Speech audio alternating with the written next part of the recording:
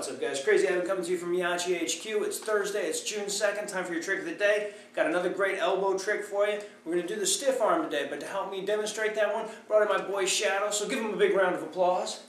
Now in the stiff arm, it's just like catching in a slingshot, except for you don't squeeze the arm. You want to catch it right in the crook of your elbow there. You want to catch it at the peak of the throw. That's the key to that one. All right, pretty easy move. It'll take you a little bit of practice. I got something else for you tomorrow. Keep in mind, I'm making these nice and easy for the contest. If you want to get another video up, there's still time. And we'll see you tomorrow. Thanks a lot.